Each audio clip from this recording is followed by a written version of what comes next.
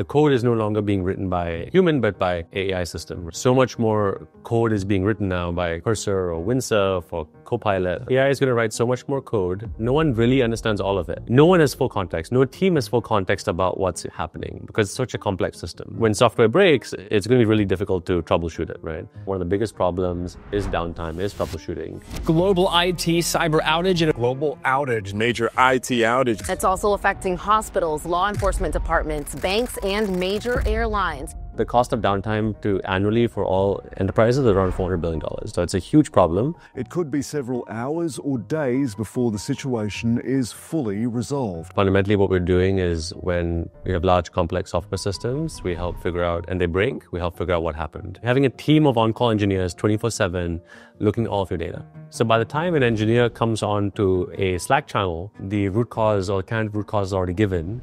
So rather than them spending so much time trying to figure out what happened or, you know, calling more and more teams, because typically what happens is you'll have one team look at the, the, the data, they're like, oh, it's not my fault. Then they'll call another team and another team and another team. That's how you go from five people to like 80 people on a channel, right? And so then rather than 50 people over an hour, it's like five or 10 people for a few minutes just verifying the answer.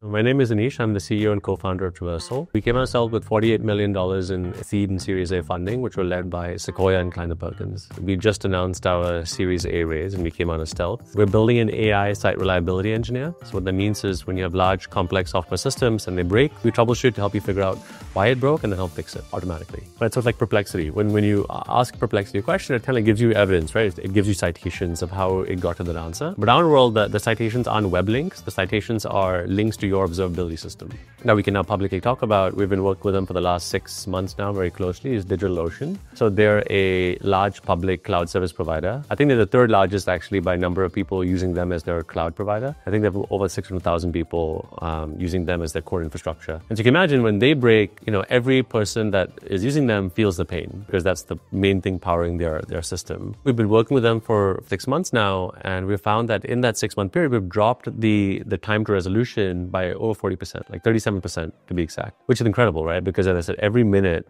of downtime is like, is worth thousands of millions of dollars.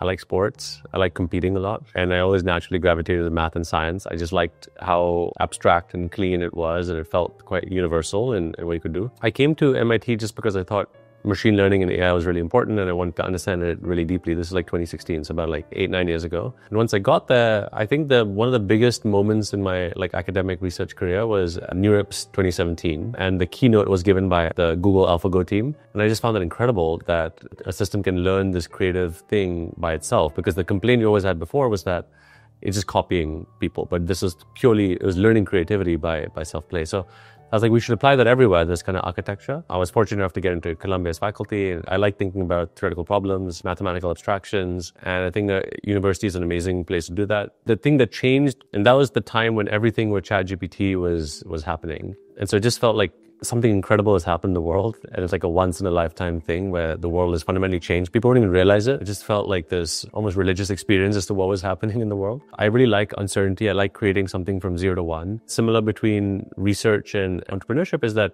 the uncertainty. You have no idea what's happening most of the time and you have to find ways of, of creating structure from nothing. I think obviously the difference is in here, the time spans are compressed, right? In research, you get five years, 10 years to, to make an impact. Here, you get one month, right? So the feedback cycle is very quick. I think in this age of AI, when AI is changing so quickly, being in that quick feedback cycle is actually very important. We've kind of entered into the industrial age of artificial intelligence. You know, I also saw some of the smartest people around me. They were either at OpenAI or Anthropic or you know Meta, or they were creating companies, and that's what makes me really excited. And so I think starting a company was felt to me like a great expression of that. I guess.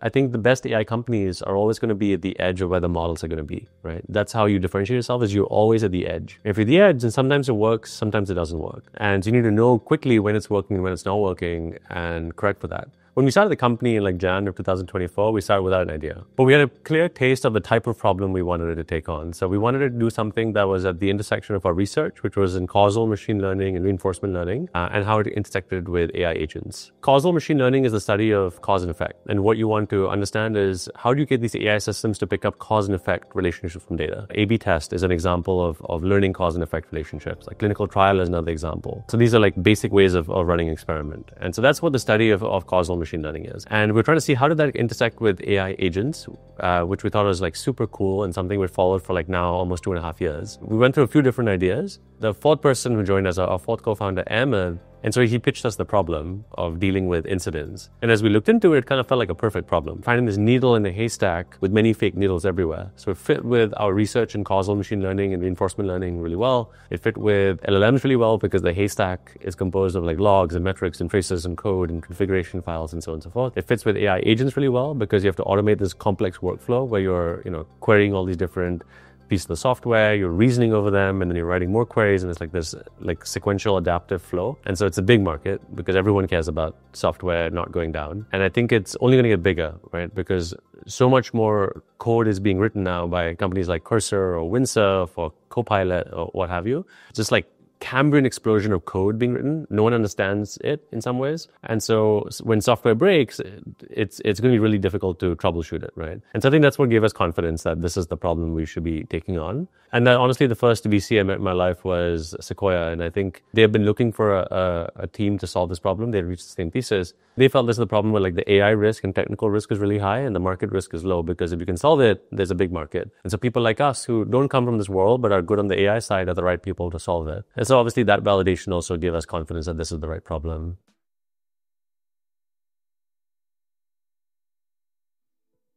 A lot of what these AI agent companies are doing is trying to replicate what humans have done, but there's so much more that can be done. And so thinking from first principles what AI systems are good at and exploiting that versus just trying to replicate what a human has done, I think is also going to be very important to reinvent and actually get to the next level of innovation. Creating a, a MVP is so easy with all the tools out there you can really iterate quickly with uh, putting a product in people's hands. We built our first MVP probably last year in June or July, like about three months in. And with small companies, it worked great because the scale of the data was small. We could kind of look at their historical incidents, see what the playbook was, and then put that into an AI agent. And so like our accuracy was like 90%, something amazing, right? So we felt really confident that this is going to work. Just because it works in the one time doesn't mean it's always going to work because the world is constantly changing. And then we hit some of the larger enterprises, including DigitalOcean, our accuracy went to 0%, which is very difficult to see. It was a tough week. Creating an MVP is easy, but creating a production system that works in complex environments is really hard.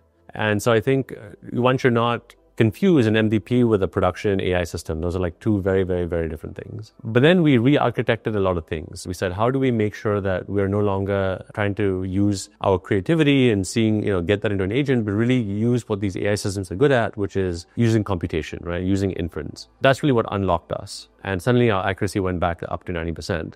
How do you make sure that your system gets better with the reasoning models. Because there are a lot of people we saw in competing companies and so on and so forth, where as the reasoning models came out, they didn't get any better. So how do you make sure that you're exploiting what the reasoning models are good at? And the way I put it is that the reasoning models are very good at like detective stories. You have a mystery novel and you're trying to figure out who, who did the crime. And there's all these different pieces of evidence that you're seeing and you're trying to figure out who is the person who did it. Connecting all those dots and figuring out the thing, you know, the person who did it, that kind of detective story type workflow I think these reasoning models are, are, very good at, where you have a clear answer at the end, and you have lots of moving pieces that you have to like connect the dots between to get to the clear answer. That felt kind of perfect for us, right? Because for us, you have all these different symptoms that happen at the same time, and you find ways to connect the dots to find that specific right answer, like who did it. Making sure we were exploiting them to the maximum was was crucial, I think. And so I think that's the way I'd put it.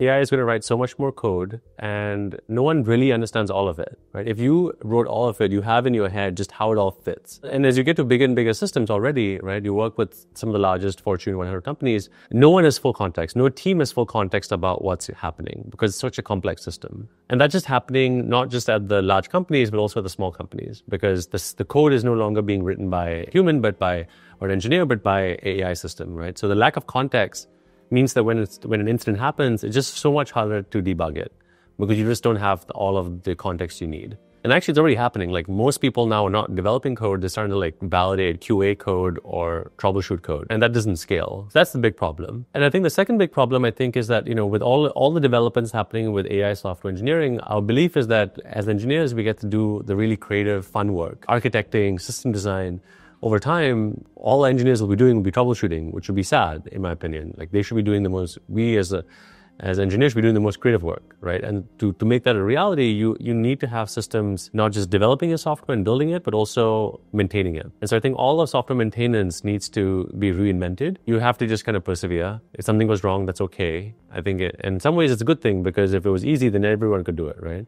I think this is one of those problems where the problem statement is very easy to state, but to actually solve it is really hard. And I think that's where there's like a lot of companies trying it, but very few actually succeeding. And I think having the ability to like stay resilient and have grit when something doesn't work and just stick with the problem is, I think, a big part of what differentiates us uh, as a company. Think about what's going to be important 10 years from now, regardless of whatever happens in the world. You have no idea what's happening most of the time. And you have to find ways of, of creating structure from nothing. And so like one way I say it is that, you know, in typically hard jobs, whether it's in finance or it's in technology as an engineer, like you have a point A, if you get a point B, and it's very hard to get from point A to point B. In the world of research and also in the world of entrepreneurship, you don't really know where point A is. You don't know where you are. You don't know where point B is. You don't know where you want to go. And if you did know, it's still very hard. And so you're constantly like in this game of trying to just decide where you are where you're trying to go. And that's exactly the same thing in research as well. What's interesting in this job is that the, the stresses are, are, are can be very high, lows can be very low. So I think getting used to like just very high highs and low lows is important. But I think the one thing I've learned is that time it takes me to, to recover is very fast. Even if I'm super stressed, I'm super tired, within one or two days, if I just take it off, I'm back to full force. And so I think that's been like a good learning is that if you're really enjoying what you're doing, and even though there's these moments of massive stress, levels of stress that you'll never face otherwise, if you really love a problem and you're you're attracted by it, that's what attracts other people, right? We all love the problem. We're all faced in our lives. And so we really feel like a great, deep desire to solve it. And probably the most important thing out of anything is surround yourself with people that you care, that you like, that you want to be like. And if you do that, life will be okay. I think about my research life. I found the right PhD advisor, advisors that really molded me and guided me the right way. But I think about this world, I found the right investors that guided me at the start, the right customers that, you know, that helped define the product. You live and die by the people you, you surround yourselves with, and the people will kind of guide you through these different parts. And so I think building a taste for the right people to mentor you and, and be a partner with you is the most important thing. The rest of it, I think, will figure itself out if you can find the right people around you. But I wouldn't just start a company for the sake of it. I think you should you should feel like something deep in you because it's not easy, and so you, you need that kind of deep belief or you know or motivation to sustain you over time.